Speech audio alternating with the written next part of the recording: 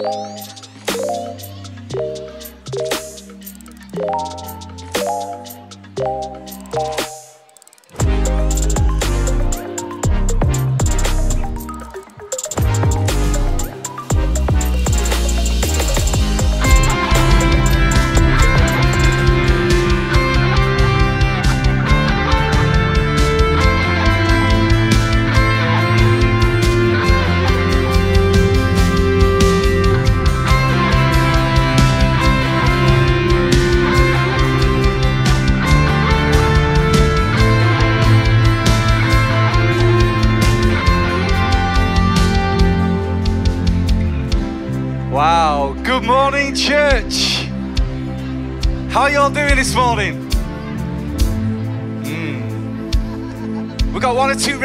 People in the house, that's great.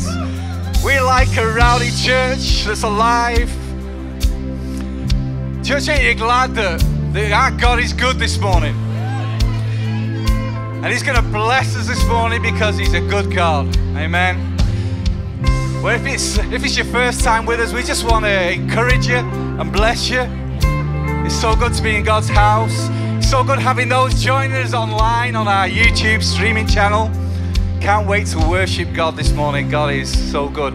I just want to encourage you this morning. Did anybody see the, the total eclipse on Monday across America on television? Nobody saw it. Come on. Did anybody see the total eclipse? Matt saw it. Steve saw it. But you know what? I was I, I, was watching it on Sky News and I was blown away by the crowds.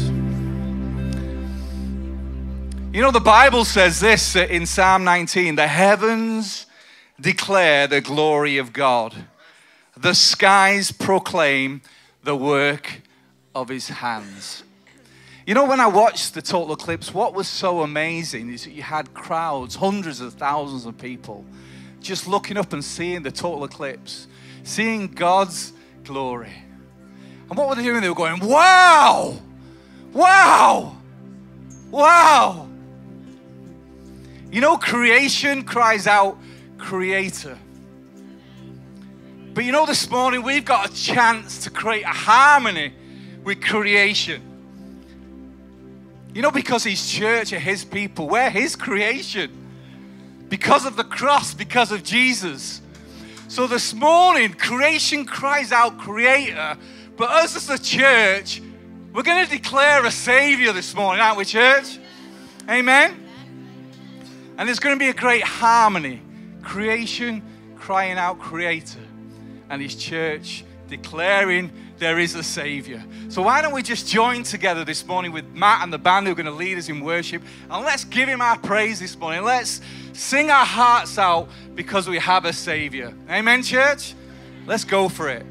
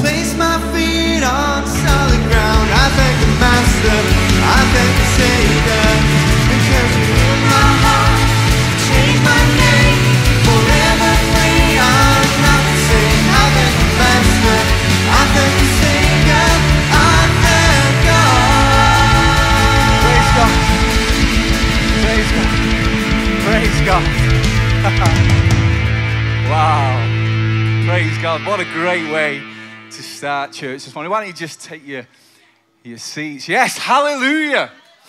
Can we have one more? Hallelujah. Come on, church. Amen. He's worthy of all praise this morning, any church. Well, just want to say how good it is to be in God's house this morning. You know, you guys are looking great, even though I can't see you with these glasses. That's just face speaking, yeah? but you are, you're absolutely a great bunch of people that God is building here at Living Waters Church. And if it's your first Sunday, maybe you've just been coming a few times, we just want to welcome you. You know, we've been praying that God will bless you as you join us on a Sunday and that you feel right at home. But we just want to encourage you if you want to find out a little bit more about uh, what we're doing here at Living Waters, then you can get on the QR code, which is on in front of the chair, in front of you. But then also at the end of the service, we've got a connection point at the back there. There'll be somebody would love to chat with you and find out a little bit more and tell you more about what we're doing here at Living Waters. Well, we're going to continue in a minute or so with some more praise and worship with the great band with Matt and Marie. We just love these guys. They're just such a blessing uh, to us. And then a little bit later on, our senior pastor John Lacy is going to be preaching the word of God above and beyond the new message uh, before he goes out to Kenya later today, which is, uh, I'm sure he might mention something a little bit about that. But God is going to be doing some great things in the house through the word of God this morning. God's got a word to speak to us, He's going to bless us, He's going to give us some instructions, some stuff to do. For some of you ladies, you got any ladies in the house? Ah, well, we. There's one or two ladies in the house. I'm not going to say anything uh, bad or anything like that. I know my wife's sitting there and she'll sort me out. but uh, for all you ladies, over the month of April and May, there's some social stuff that's kicking off. You're going to go to Go Ape. Anybody done a bit of Go Ape? Climbing around in the trees. It's, I'll tell you, it's high. I've done it. It's high, but it's great time. And then also, there's going to be an afternoon walk. So if you look out on the, the church website, again, you can go on the QR code.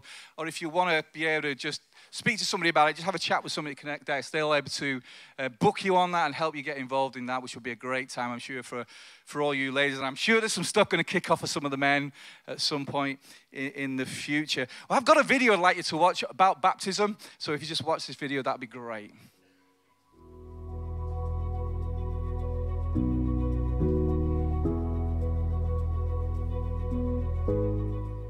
So, John, we've got a, another baptism service coming up here yeah. at church soon. Uh, it's a real high point of the year when we do these services. Can you explain to us what is baptism, what's it all about? Yeah, so baptism at church here, we just love to celebrate baptism. It represents a real milestone in your journey of faith in the Lord Jesus Christ, being his follower. As you go down into the waters of baptism, you're identifying with the death of the Lord Jesus Christ. As you come up out of the water, you're identifying with his resurrection and the new life that that brings so it's a real celebratory point in our services, and we do that in a, in a worship service. You can bring guests along if you're being baptized, and at a real high point in worship, we bring people forward for baptism, and we celebrate. And the whole church goes wild in celebration as you take that step. It's a really great day. Yeah fantastic. And obviously, baptism is something we're following the footsteps of Jesus. So, can you explain to us like how that is, how we are following the footsteps of Jesus in baptism? Yeah, so Jesus himself was baptized by John the Baptist. Romans 6 4 says, We were therefore buried with him through baptism into death, in order that just as Christ was raised from the dead, through the glory of the Father, we too may have new life. And, and that's the step that we're taking. We, we are repenting of our sin, we're saying sorry, turning away from our sin and our old life we're confessing our belief in the Lord Jesus Christ, and then we are carrying on and continuing in that journey of being a committed follower of Jesus Christ. You don't have to be perfect, but you are on a journey and you're learning the words and the ways of Jesus. And baptism is a command that we find in the scripture, it's an act of obedience, and it's such a blessing in the journey of faith. Yeah. Yeah, fantastic. So, how does how does someone go about uh, getting baptized here at church? So it's very simply, if you go onto the website, you click the baptism form, fill the form in, or go on the QR code in the chair on the chair in front of you, you take to the same place. And then it's an individual process. So somebody will contact you, will talk to you about your understanding of baptism, talk you through whether you're ready, and then, then we'll go for it and we'll get you baptized in one of our services. Fantastic, sounds great. So Ben, you, you look after our young people in the church and so many that have been baptised over the last few years. What would you say to any teenager or young person that's thinking about baptism? Great. I would say again, obviously you don't have to be perfect. I think that applies to everybody. Um, I think there's sometimes a perception that you have to be perfect to be baptized. That is not the case. What I would say is that you have to have confessed your faith into Jesus. You have to say, I'm going to live for Jesus for the rest of my days.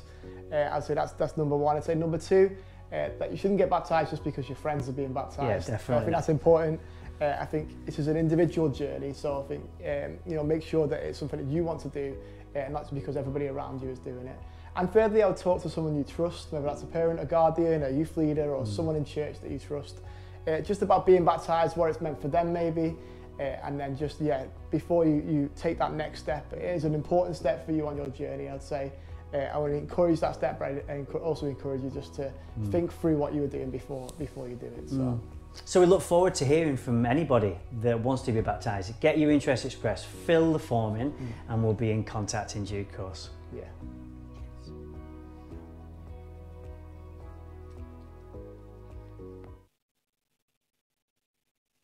Well, thank you, Clive. Just Clive wasn't expecting me to jump in, but I just want to uh, endorse that about baptism. My name's John, and the minister here. But if you're thinking of being baptized, scan that QR code. Come and find out more, uh, and we'll have that individual discussion with you. But I've just been. Uh, it's come to my attention. There's a couple of people in the house that I want to celebrate with today before Clive just can continues.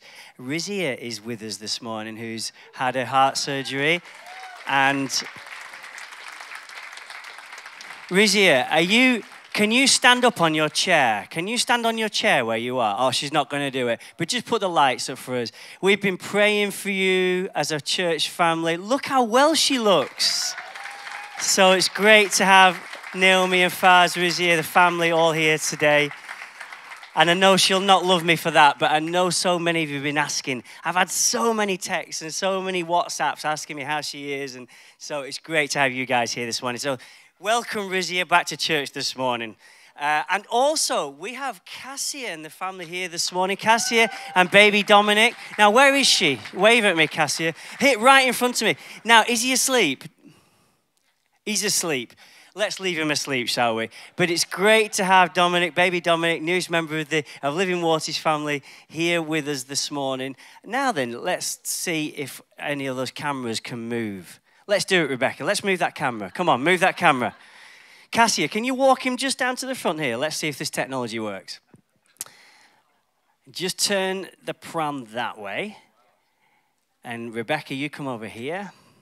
We've got three young young girls on the cameras this morning. They're amazing. And she's going to show you the baby. Come on, Rebecca. This is baby Dominic. Go on, get in there. Get in there. Zoom in. Zoom in, Rebecca. There we go. There he is. And he's doing wonderful. Isn't he beautiful? That's baby Dominic. Thank you. Give him a round of applause.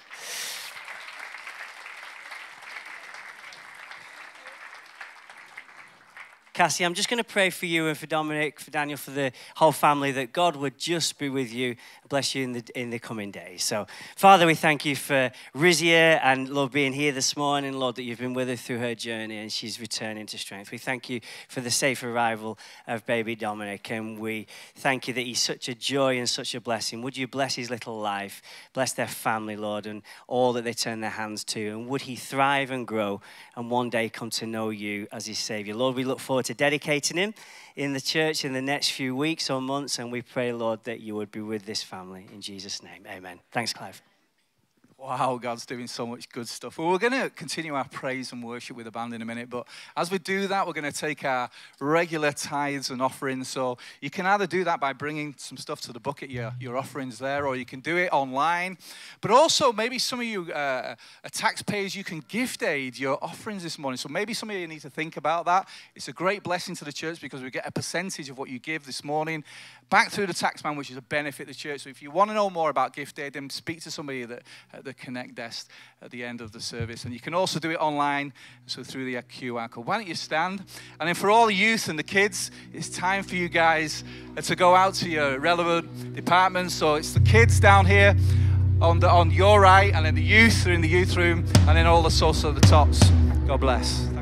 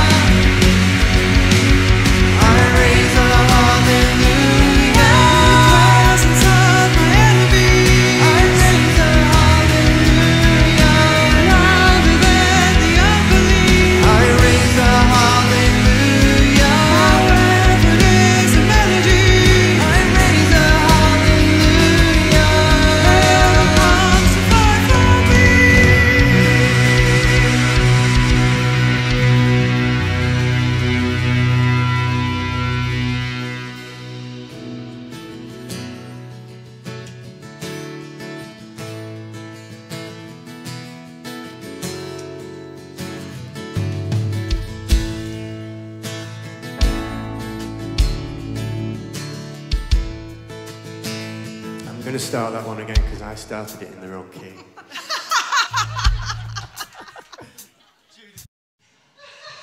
to start it because I can't remember how it goes.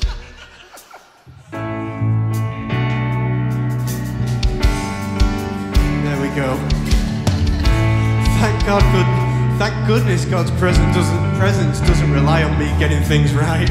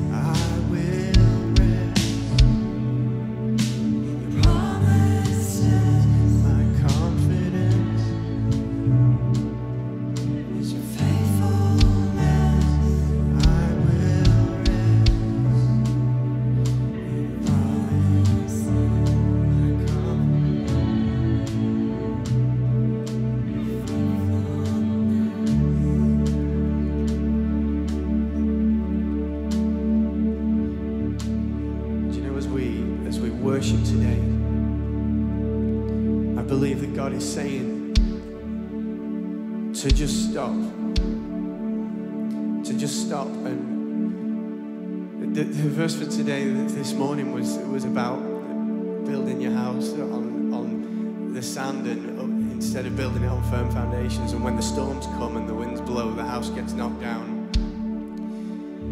And I feel like we are so, so busy in this world and so, so busy in our culture, constantly just trying to build our foundations on what the world is telling us is right and, and what we believe is right. But actually, Jesus says that I should be your firm foundation, that I should be your rock, that His words and His promises are what we should build our life on because when the storms come and the winds blow, they remain. They remain because when God promises something, it's a promise that cannot be broken. God can't break his promise. So we just want, I just want to take a moment right now and I want to encourage you to work out what it is in your life that, that you feel that your foundations are. Maybe some of your foundations are in Jesus, but not all of them. But today we choose to rest in His promises. And our confidence is in those promises.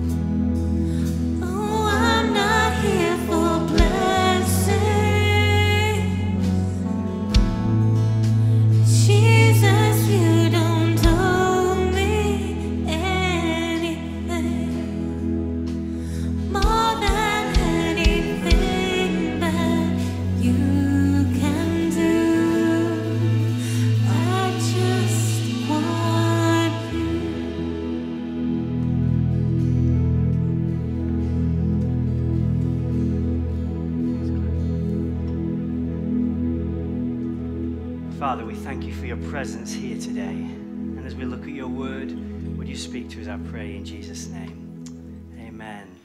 Amen. I thank you to all the teams that have been working this morning and to all of our tots, babies, youth, worship, welcome, refreshments, stewarding, blah, blah, blah, and everybody. So thank you so much for all that you do. Uh, Clive just mentioned, so after the service today, I'm nipping away, so I'll just nip, nip away quickly at the end of the service. Got to get down to Heathrow, flying to Kenya in the morning.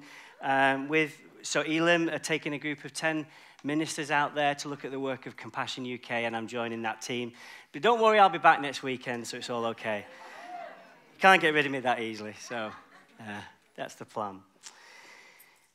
I thought it'd be interesting this morning, just as, a, as an introduction to this new series, which will go on uh, for an indeterminate amount of weeks. Uh, no, it won't actually. Um, certainly not undeterminate anyway, but we will, we will get there. This whole uh, message, above and beyond, is a new, a new portion of teaching that I want to bring to you, looking at uh, some principles that we see in the Bible about God's uh, above and beyond for each one of us. But to put that into perspective for you, sometimes when I'm preparing series of messages, like, for example, the one that we've done on Mark recently, the one that we're the New Kingdom, the one that we did uh, more recently from the book of Thessalonians. You do what would be classed as expository preaching, where you go through a passage and you work passage by passage, and you feel as, a, as you're preparing what is the Holy Spirit saying to you from that passage and what is the theme for the church. But other times there are very, uh, what, what, what I would class as more uh, prophetic in the moment, seasoned messages for just where we are as a church.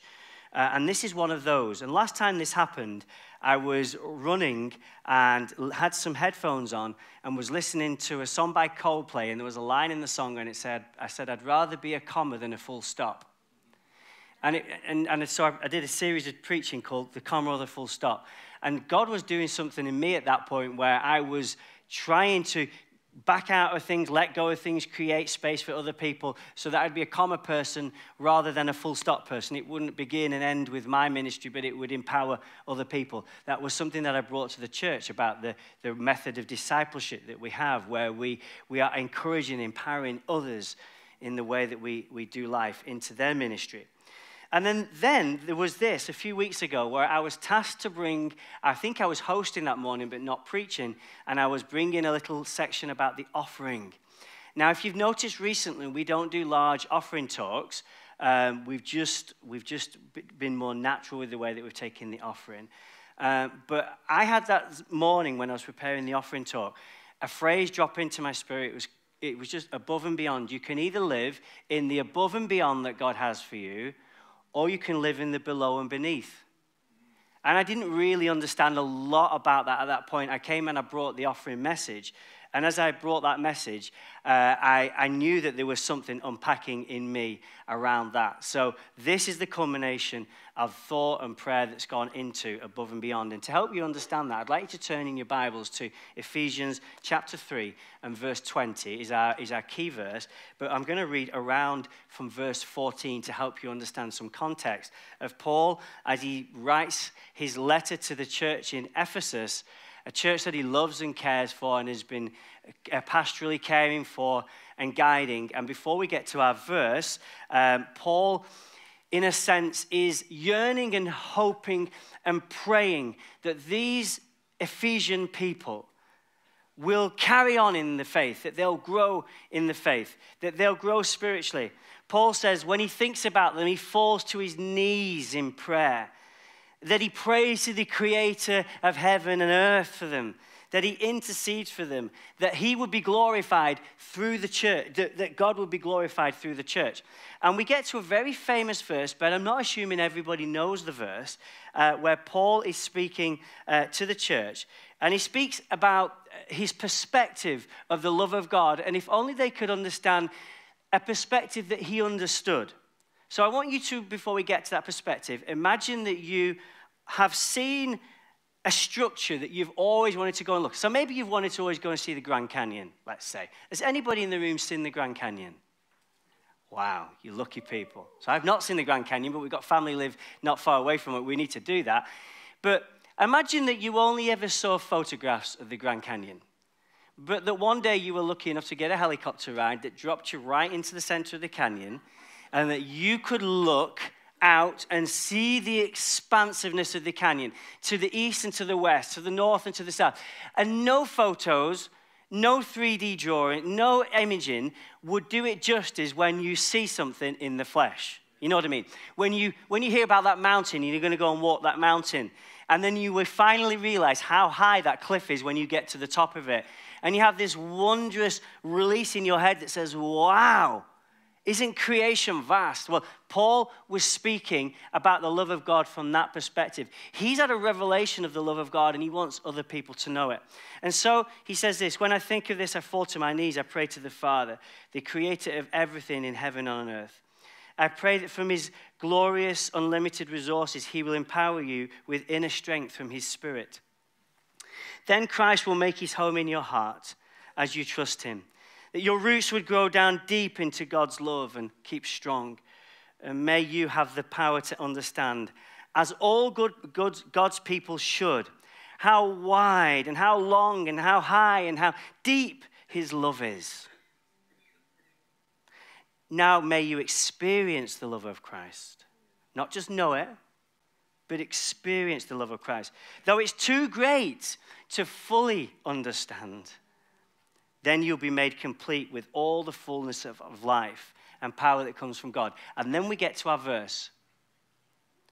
Now, all glory to God who is able, through his mighty power at work within us, to accomplish infinitely more than we might ask or think. Glory to him in the church and in Christ Jesus through all generations, forever and ever. That's where the above and beyond phrase came. In the New King James Version, it says this Now unto him who is able to do exceedingly abundantly, above all that we can ask or think, according to the power that is at work in us. To him be glory in the church by Christ Jesus, to all generations, young and old forever and ever. Amen. What a powerful verse. So Paul's saying things like, I'm praying that Christ would make his home in your hearts, that your roots would go deep, that you would stand in the trials, that you would understand the breadth and the depth and the width and the height of the love of God to your human capacity as much as you possibly can. And then our verse sits there that you would know what the above and beyond nature of God's heart is for you. So, on that morning when I brought the offering talk, I said you can either choose to live in the above and beyond, the exceedingly abundantly of God's best for you, the immeasurably more, all of those phrases that we see in Scripture. Or you can choose actually to live below that, and it might be okay in the below and the beneath, that might be fine, but it may not be God's fullest and His best for you. And so it hit me. As I've been preparing this series, there are many, many people joined our church in the last few months. And you may have never heard our heart on stewardship and our heart on living in faith and our heart on stepping out. And so this series is a, heart, is a series to help you begin to understand that. And there's a few things that I'm going to do maybe the next time that I preach that I really feel God has impressed on my spirit to help you with some visual analogies to understand that. But today, I felt that God gave me a word for the church. And I want to use that word a few times. We want to get it out there into social media, etc. So we've recorded that as an audio clip for the end of the message today. So it's not a very deep message today, it's an introduction. But last year, as we approached our first fruits offer in 2023, and we had this amazing desire to bless our youth ministry, to refurbish our cafe, to make space upstairs for the young people. By the way, it's done. The room, the room for our young people is now, it's done. It's all completed. They've got great AV in there. They've got seats and couches and blinds, and everything is perfect up there for them so that they can grow into that space. But they're already filling it. That's the reality. And we did our cafe and it looks beautiful. And every time I walk in, I go, oh, it's nice and bright and white in here. But you come in on a Tuesday and Friday, sometimes you can't get a seat. And the cafe is used throughout the week because God just meets you where your faith is. And many of you in your first week's offering last year, you gave to that and you gave in faith and you trusted the leaders here in the church to administer that faith, uh, that, that giving in such a way that those things that you've given to would come to pass, and so they have. But I began to wonder what would it look like for a church to thrive in that way, in resource and financially, without the need annually to have big kind of vision things? What if, what if there was enough resource in the house to be able to do what we needed to do and be generous when we needed to be generous, week in, week out. Of course, we try to live that way, but resources are finite. And I really had this impression in my spirit that God was leading me over this series to bring a release into that area so that the church finds itself in a place where it can exist that way. Because listen, what does that verse tell me? When Paul's praying for the church in Ephesus. He says, You can ask and think some things. That's okay. We're all good at asking, and we're all good, or most of us are good at dreaming, thinking, imagining. God uses our asks and our imagination and our vision and our, and our pictures that we, we see in our mind. And he takes those things and sometimes he uses them as the basis for what is the heart of this place? What are they asking for, thinking for? What are they dreaming about? How can I bless them? And then he says, But listen, that's not the limitation of what I can do amongst my people.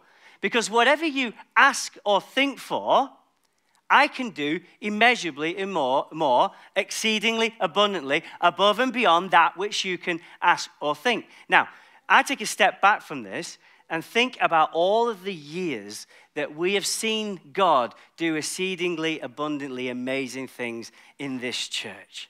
For example, the premises that you're sat in, the community projects that happen week by week, the way that the church is open and visible throughout the week, the way that we're involved overseas in missions. Uh, many years ago, Tony and Jennifer, who were leading the church, Pastor Tony and Jennifer, that's my parents, by the way, if you don't know them, they, they planted a missions work into India where we had a boys' home, an orphanage, but that has now grown to become a training facility uh, and accommodation for students. We've got male and female students going through degree education in India because they asked and thought about something. But God saw something exceedingly abundantly above what they asked and thought. And it grew. And God blessed it, and people got behind it. And our missions work for Living Waters Church, which we're going to tell you about in a service in May, by the way, began to take uh, its place and began to form. God did exceedingly abundantly outside of the house and into other nations. And so I was praying and thinking into all of this. And my first point this morning is very, very simple for you. It's this God can and will accomplish more than you can ask and think. But if you don't ask or think, can He accomplish? Interesting. Interesting. Michelle, could you pass me that water? If you don't ask, it, so I think sometimes as you get to your middle age, and I, that's where I am, by the way. I always think I'm in my 20s, but then I see the mirror uh, and definitely in my middle age. The other day, I had the unfortunate experience of going out, sit, sat in a restaurant where there were just mirrors all around us. And Michelle and I were sat there, and I kept looking in the mirror thinking, what's she doing with this old boy here? Like, like, like she managed to stay eternally youthful, and I'm just seem to be getting older. I don't know what's going on. But you see, the asking and, asking and the dreaming. Asking, the, the actual action of seeing the potential of something that you see a gap and you see that God can do, and you ask God to meet that need. But in your, as you get older, it's very easy to settle. You know, I'll just settle. That restless kind of thing in the spirit that says to take ground, we have to take steps of faith. It can very easily settle, and it doesn't matter how long you've been a mature Christian. Sometimes it's easy to sit back and go, I'll just settle for where I am. It's just more comfortable here. and friends in Living Waters Church, we could settle right now. It's great. We settle. Let's just settle. Do church as we do church. We enjoy it. Great worship. And then at Easter, I chucked in a couple of services and kind of sowed a seed. Let's ask or think about something. What if we doubled our capacity? And what if, what if we tried something that stretched our teams? And I know that coming off the back of COVID, people were like, oh, we're burnt out and we're tired. But actually, in reality, God wants us to ask and think about dreams and visions. He wants us to ask for new things. And I look back over my ministry. This is coming into the 13th, I lose track, 13th year, 14th year. And, I, and as, I, as I reflect back on my early ministry, those steps of faith, we, we, did, ama- we did big things. Like we built this building and then we built Hall 2, raised it in a morning. Do you remember? Do you remember when there was a Portakabin out the back there and, I, and we sowed a vision? And I read the, I read the thing wrong when, when Rebecca gave me the, the thing that said how much money we'd raised in that morning. And I'd read the decimal point in the wrong place. But it was over £127,000 in a morning. And I forgot, I forgot some of these steps. And then we planted a church and we had some kind of things to work through there as we planted the church and you gave to that. And then and then and then we sowed into our missions and we built the storehouse there and we did all of the all of these things. And, and but if we never asked or thought for anything, we'd have never done any of it. God wants us to ask and think. So much bigger. But asking is one thing, dreaming is another. Now, there are some people in this room, you're dreamers. At me.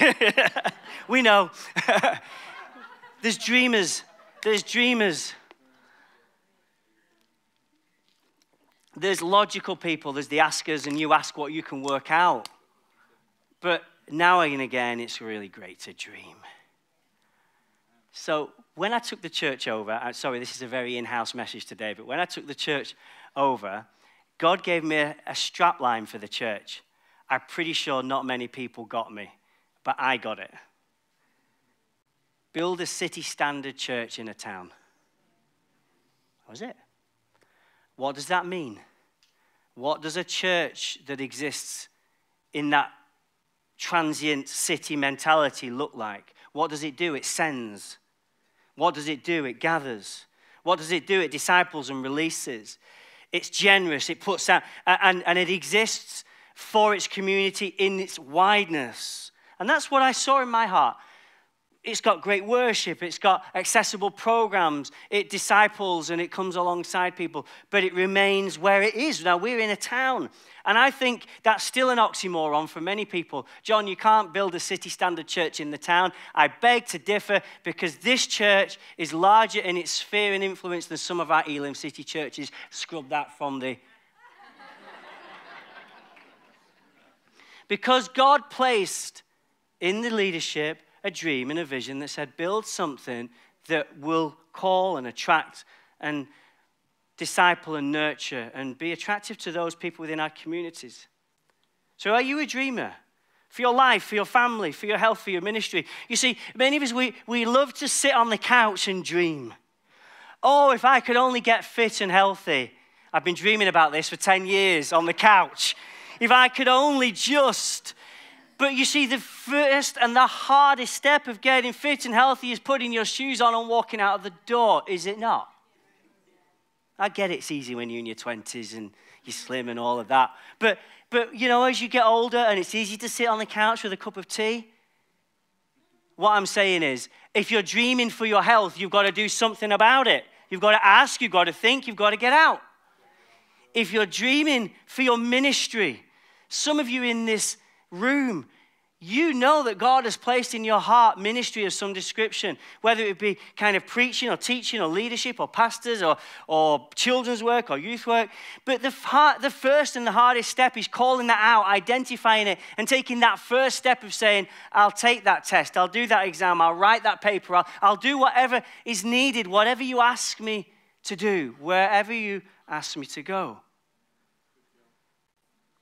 Now, think about your finances. I want to be blessed financially. I want our family to be blessed. I want to have a great home and we want to be able to give and we want to be able, but all of those things. But, but I'm not prepared to do the first step of giving my first to God. You see how easy it is sometimes to settle, to sit back. But God promises here through this passage that He is able to achieve in and through you more than your dreams. More than your dreams. What are your dreams? And if you stop dreaming, get dreaming a little bit. It's illuminating, it's powerful. God hears and He sees the desires of our hearts. He sees open, malleable, flexible people, and He says, There's one, there's two, there's three. Let's pull them together and put them all together in a church, and we'll see what this army of people can achieve in my name. So, building a city standard church uh, in the town, maybe some of you will understand that, but I understand it. But when I, when I initially in 2009 10, when we brought that vision, this church like this didn't exist. But I'll tell you now that when I t- gave that strap line to the church and we prayed into it and we sought, sought God for it and we gave to it, that what exists now is what was in my heart. So now God's got to give me a new vision, something new. I've got to keep dreaming.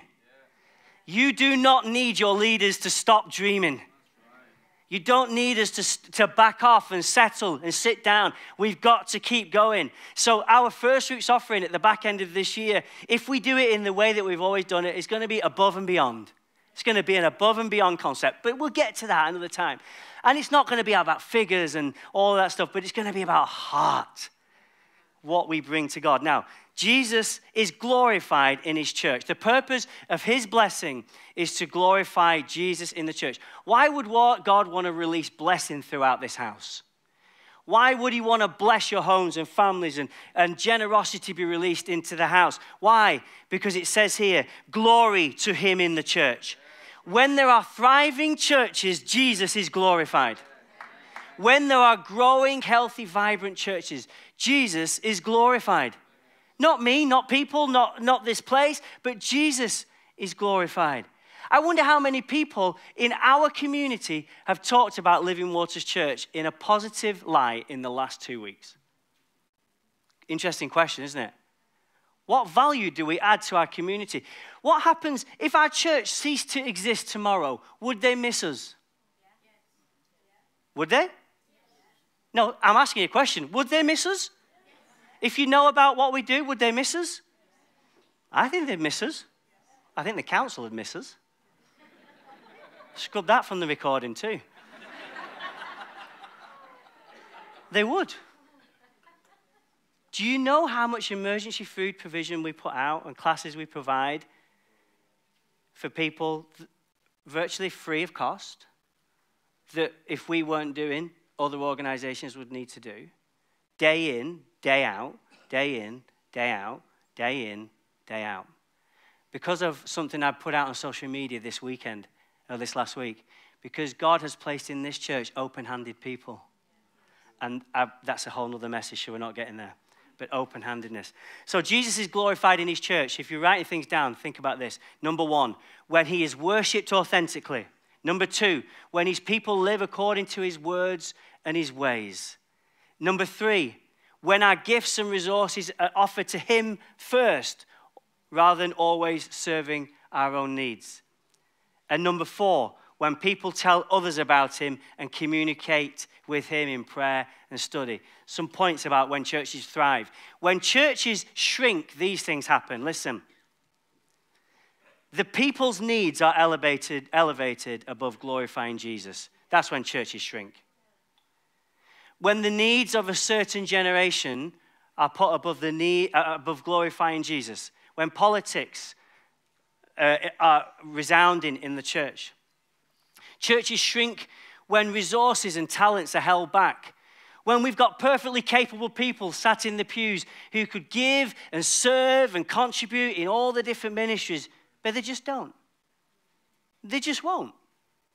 I would dare to say that in some shrinking churches in the UK, the pews are populated with well gifted people who just don't want to serve because they don't understand the need and the reason to serve. Churches shrink when people treat church like a tonic. Let me unpack that one. If you think church is just a show, it's just entertainment, it's your pick me up, then eventually what's going to happen is when you get older, no one's going to take your place. Don't come to church just for a tonic. Worship and live for Jesus because He's your core and your reason for being. So, that's when churches thrive, that's when churches shrink. Now, in this message preparation, I recorded something that I want you to listen to to close this message now. And I, I just frame it before you listen to it. For those of you who are not used to a Pentecostal setting, sometimes we feel as leaders that God speaks to us in a, a word that we think has a sense of meaning for the church, and we may call that a prophetic word. Sometimes we, we feel God may speak to us and give us information or insight into a situation or place or moment or season. And sometimes we call that like a word of wisdom or discernment. This, I would say, is probably a prophetic word because I think the words in, these passage, in this passage now will help unlock potential within the church in the areas that I'm talking about over the next few weeks. So I'd like you to take a listen. And Clive, it will end fairly abruptly, so I'll pass straight back to you to do the wonderful thing that you do. But would you just take a listen to what I think God has been saying to us in the season that we're in and where we're headed? As your God, I've guided you, opened doors for you, and provided for you every step of the way. I've never failed you, and I've walked with you through every season. I've gathered into this house all the gifts needed to crush you into the new that I have for you. I've drawn together into this house many people with diverse experience, giftings, and needs, and I'm going to expand your reach as you honour and obey me.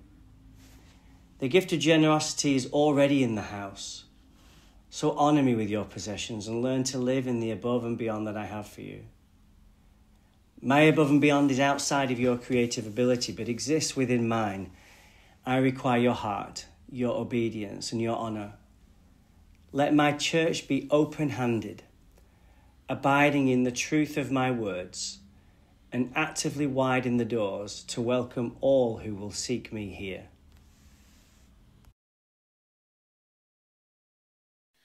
Shall we just pray? Father, I thank you this morning that you're calling your church to live above, beyond life. Father, we thank you for your word. We thank you for our Pastor John. And Lord, we just pray that over the coming weeks, Lord, that you will just really still our hearts and open our hearts and enable us to walk in all that you have for us. Father, we thank you for your presence this morning. Father, we just want to pray for Pastor John as he goes over to Kenya. We pray for safety and blessing. The Lord, that you'll encourage him and that you'll use him.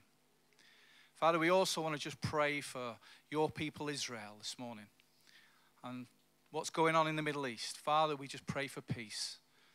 The Lord, that you will just do something right now in Jesus' name. Amen. Why don't we just give God some thanks and thank Pastor John for just a great, great message this morning. We've got a prayer team here on your left. They're going to be at the front. If you need prayer this morning, you know, I was reminded this morning that God is able. You have anything, anything that you need this morning, and we've been encouraged this morning to ask. So if you need prayer this morning, there's a team here on your left that are going to be praying with you, and God can do a miracle. And then also, we've got the cafe that's open, so please do hang about and chat with somebody, get a brew, and have a fantastic week, everybody. Have a great week. God bless you. Thanks very much.